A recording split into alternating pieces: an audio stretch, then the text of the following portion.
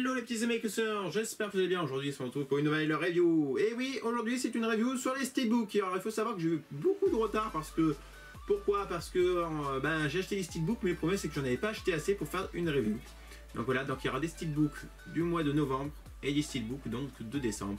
Je suis désolé s'il n'y avait pas eu de review de novembre euh, pour les steelbooks, c'est parce que j'avais pas trouvé grand chose. Aujourd'hui donc on va s'intéresser sur 4 steelbooks pour cette vidéo. Donc voilà, il s'agit de la troisième partie euh, pour les achats de Blu-ray, DVD et steelbooks du mois de décembre. Après on va attaquer la nouvelle partie pour janvier. Et en sachant qu'il va y avoir du très lourd, très très très lourd, sans vouloir m'inventer. Et donc voilà, donc j'ai fait quelques petites trouvailles, quelques petites pépites, quelques petites, euh, voilà, donc une grande trouvaille que je voulais depuis un moment et que j'ai trouvé enfin. Vous avez suivi dans les vidéos précédentes, vous devez probablement savoir. Donc voilà, on va commencer donc euh, avec le film le moins bien. Ça veut tout dire, je lance tout de suite euh, le truc. Dark Tower La tour sombre, adaptation, soi-disant, du roman de Stephen King. Et mon dieu, oh là là, oh là là, il est mauvais Mais c'est mauvais mais c'est nul Mais c'est nul C'est pourri C'est pourri faut, faut dire ce qui est C'est un film pourri Voilà. J'ai lâché mon sac. Ah voilà, donc de Dark Tower. Je veux une protection, je demande pourquoi d'ailleurs. Hein pour ce que ça vaut. Même le Steelbooks ne vaut rien. Bien pour pas que j'ai pris d'ailleurs, parce qu'il était pas vraiment, il était pas cher du tout. Je vous dirai ça à la fin de la vidéo. Sinon voilà, le visuel, il est classe. Là j'ai l'impression de voir un visuel de Inception. Vous voyez, Inception. Voilà, c'est classe le visuel. Là aussi, il est classe le visuel. Ils sont badass là-dessus. Ils sont badass. À l'intérieur, hop, je retire ça. Nous avons un disque. Bon, pas super, hein. Mais la, déco à l'intérieur, elle est super classe. Regardez. Ils ont fait vraiment un travail dessus. Hein. Moi, je trouve que ce steelbook, c'est plutôt pas mal. Il est très joli. Hein. Ils se sont vraiment appliqués. Malheureusement, ils ne sont pas appliqués pour le film. Voilà, ils sont appliqués pour le, pour le steelbook, mais pas pour le film. Bon, après, au niveau des traces, vous voyez, ça en fait un pas mal. Donc voilà, je passe un petit chiffon un peu dessus. Mais voilà. Mais j'aime bien, c'est un effet laqué, un effet brillant. C'est super classe. Le, le steelbook, c'est super classe. Malheureusement, le film, Euh, il, en plus, il dure pas longtemps, il dure une heure et demie. Une heure et demie pour un film, euh, quand même. Euh, la Tour Sombre, bah, c'est en plusieurs parties, quoi. Il y a plusieurs romans. Une heure et demie, là. Ils nous ont fait un raccourci, quoi. Ils nous ont fait un raccourci. Et puis, sans parler de une heure et demie, c'est quand même court pour, pour ce genre de film. Il y a quand même du budget, quoi, dessus. Hein. Une heure et demie. Et film d'une heure et demie, ça se fait plus, quoi. Maintenant, il faut au minimum deux heures. Alors je me suis dit, rien quand j'ai vu le, la durée du film, je me suis dit, oula, ça s'annonce pas bon. Mais effectivement, ça s'annonce pas bon. Enfin bref, j'arrête de cracher sur ce film. voilà, je vous dirai le prix à la fin de la vidéo. Je pense que vous devez tous deviner parce que c'est un, un steelbook qu'on trouve partout. Ensuite, deuxième steelbook, je vais pas le déballer. Pourquoi? Parce que je l'ai déjà en Blu-ray normal. Et je me suis pris parce qu'il était pas cher du tout. J'ai pas envie de le déballer pour le moment. Je vois pas l'utilité. Donc voilà, vous n'aurez pas le visuel du derrière du steelbook, je suis désolé. Il s'agit donc de Star Trek. Lequel? Star Trek Bayonne. Ou si vous voulez, Star Trek sans limite. Sans limite Donc le voilà. Moi je trouve super classe, super visuel avec le Captain Kirk, euh, Spock et la demoiselle que je ne sais pas qui c'est, comment elle s'appelle, je ne rappelle plus. Et voilà, je trouvais qu'il était super, euh, super bien fait. Il s'agit d'un apport anglais, euh, mais vous avez j'ai la VF dessus en tout cas. D'ailleurs, c'est marqué même en VF derrière sur le flagger. Donc voilà. Euh, moi, bah, personnellement, j'aime bien le film. Il est, euh... il est ce qu'il est. Bon, il est moins bon que les deux premiers, mais euh, moi, je l'aime bien. Je l'aime bien. Après, je suis pas très team Star Trek. Je suis pas très film de J.J. Abrams, surtout que depuis qu'il m'a fait l'épisode 7 de Star Wars et qui m'a massacré l'épisode 9, euh, l'ascension de Skywalker. Faut que je prenne l'air. Oui, parce que, on va pas se mentir, il hein, n'y a pas que Ryan Johnson qui est responsable de cette euh, chaotique trilogie Star Wars. Hein. JJ sont aussi hein, il est pour quelque chose. Hein. Copier-coller. Oui, c'est ça, c'est copier-coller sur le bureau. Voilà, film est prêt. Voilà.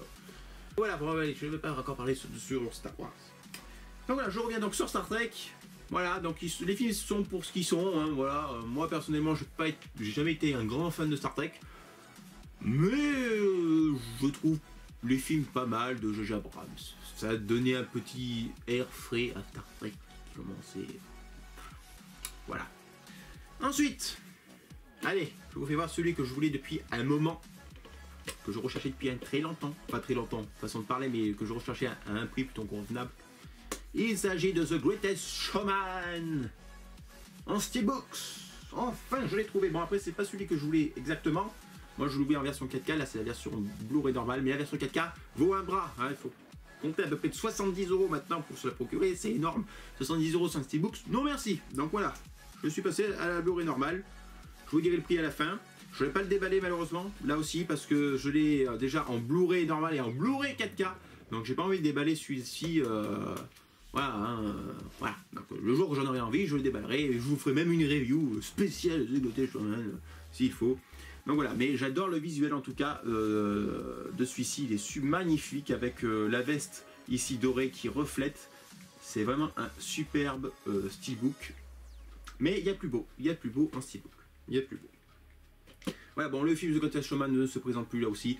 C'était vraiment un très grand film, un chef-d'œuvre même, je dirais. Euh, euh, des, films très rares qui sont aujourd'hui, voilà, ce sont des films rares qu'on peut voir aujourd'hui, hein, parce qu'en ce moment c'est beaucoup de Ghostbusters, tout ça, avec un scénario totalement plat et, nul. Là voilà. Après c'est un avis personnel. Le dernier Steelbooks, celui qui est sur la vignette d'ailleurs, il s'agit bien sûr du Steelbooks de Once Upon a Time in Hollywood avec DiCaprio, Brad Pitt et Margot Robbie. Hmm, Margot Robbie. Salut.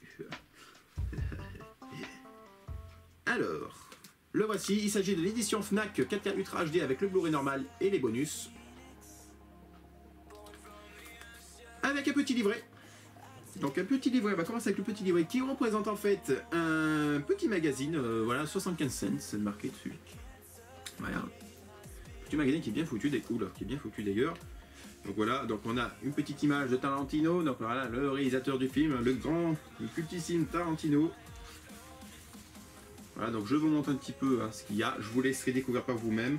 Il y a à peu près 23 pages, bon, 23 pages, un petit livret, quoi, un petit magazine voilà. Je vous montre vraiment vite fait parce que voilà, je ne vais pas passer des heures sur le magazine. Mais en tout cas, l'imprimé est super, il est magnifique et on a vraiment l'impression de voir un petit magazine chez euh, Hollywood. Ensuite, au niveau du Steelbooks, donc je j'enlève la protection plastique. Oula, oui, si je mets pas ça. Voilà. le visuel est magnifique. Nous avons donc notre cher Leonardo DiCaprio, euh, Brad Pitt, Margot Robbie, ainsi qu'en haut, tout en haut, One the Time in Hollywood. Donc voilà, super classe avec des effets néons sur les noms des acteurs. Vous voyez, regardez, ça fait une petite brillance dessus, c'est juste super classe. Moi, j'adore en tout cas. À l'arrière, mais qu'est-ce que c'est magnifique. Regardez, le toutou. Regardez-moi ça, c'est super classe. J'adore. Hein. C'est vraiment... Waouh J'adore ça. Ensuite, à l'intérieur, vous avez donc le Blu-ray normal, euh, le Blu-ray 4K, pardon, on va commencer avec le Blu-ray 4K. Blu-ray 4K qui est relativement simple. Voilà, ce sont des petites annotations. Voilà, c'est pas, voilà, c'est pas terrible, ça me Ils sont pas foulés par contre pour l'intérieur, c'est un peu dommage, bon, voilà, on peut pas tout avoir. Et le Blu-ray normal,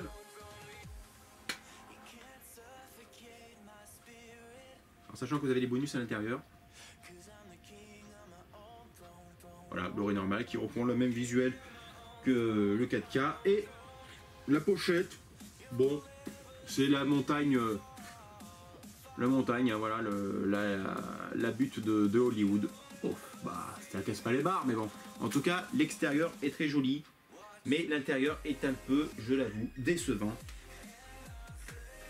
Pour une édition quand même. Euh, Fnac, C'est rare, mais bon.